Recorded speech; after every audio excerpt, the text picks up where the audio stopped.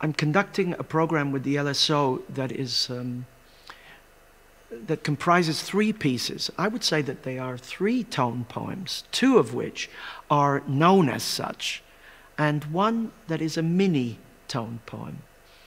Um, the program starts with a, the ballad in A minor, or ballad in A minor, by Samuel Coleridge Taylor, it, written in uh, 1898. Um, and it, uh, we follow that with Liszt's, Franz Liszt's um, Die Ideale, uh, based on a Schiller poem. That's 1856, 1857. And then Ein Heldenleben, A Hero's Life by Richard Strauss. The tone poem. First of all, what is the tone poem? Tone poem is a piece of music, usually in one movement, that has an extra musical program. It could be literary, literary, it could be autobiographical, it could be both. Um, it could be about an idea, it could be about a place. Um, and if we take, for instance, the ballade, when we think of ballade, we think of Frederick Chopin. He wrote four ballades for the piano, uh, all in 6 8 uh, time, all start relatively slowly and then develop into tempestuous pieces. Uh, Samuel Coleridge Taylor, by the way, an English uh, uh, born composer of color, who sadly died at the age of 37, really tragic, of, of pneumonia. Um, someone who, by the way, Elgar, Elgar admired and helped. And the publisher Novello thought he was a genius. So it's a real loss that.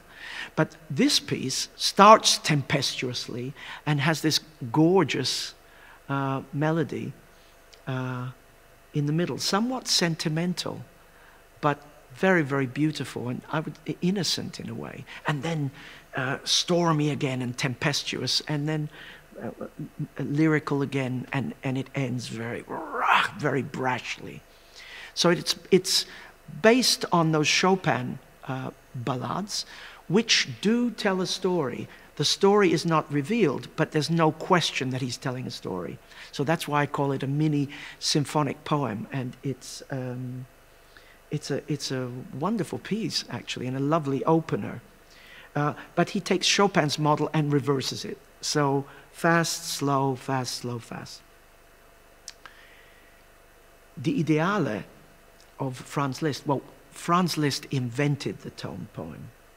In the 1850s, he was playing around with form in general, and he, um, though uh, this piece, the Ideale, was originally planned to be a three movement symphony, he thought the better of it and decided to make it a one movement piece, taking Schiller's rather dark poem about searching for ideal and even in the face of loss and despair, somehow maintaining some hope um, towards the light.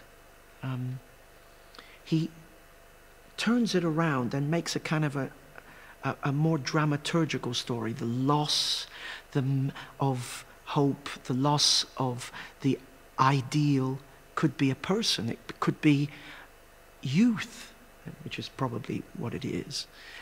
And then looking back and feeling nostalgia, but, uh, but uh, not only melancholy, but euphoric nostalgia. It's very, very beautiful. And then um, disillusionment again.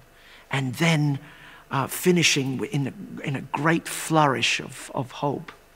So it's a manipulated piece, using a poem, but turning it into its own story.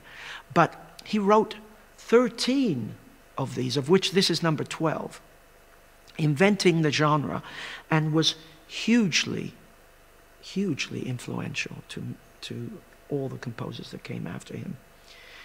The composition uses sequential writing a lot, which, which means that he'll take a phrase and repeat it then in a different harmony. And he'll repeat it again in a different harmony. It gives him a platform from which to surprise us with new sounds and new colors. Um, each time heightening the intensity. And so you get this very romantic, you get very romantic spasms of, of expression. Um, uh, piece is quite exciting to conduct. I'm doing it for the first time, but I'm really looking forward to it. Um, it all his music requires a belief um, because um, you have to love his music for it to come off the page. Because of, of this repetitive nature of these phrases, each time must be a novelty, must be a discovery. So the sense of discovery is very, very important. And that, I'm very much looking um, to discovering with the orchestra. We finish with Ein Heldenleben, the hero's life of Richard Strauss. And yes, the piece is autobiographical. It's about the hero, and we are presented with the hero. But Strauss has too much uh, common sense and good humor to know that he's not really a hero. But he's, he's in a way having a laugh at himself. The important thing is to know that he presents the hero, but he also presents his adversaries. And the adversaries, in his case, are the critics.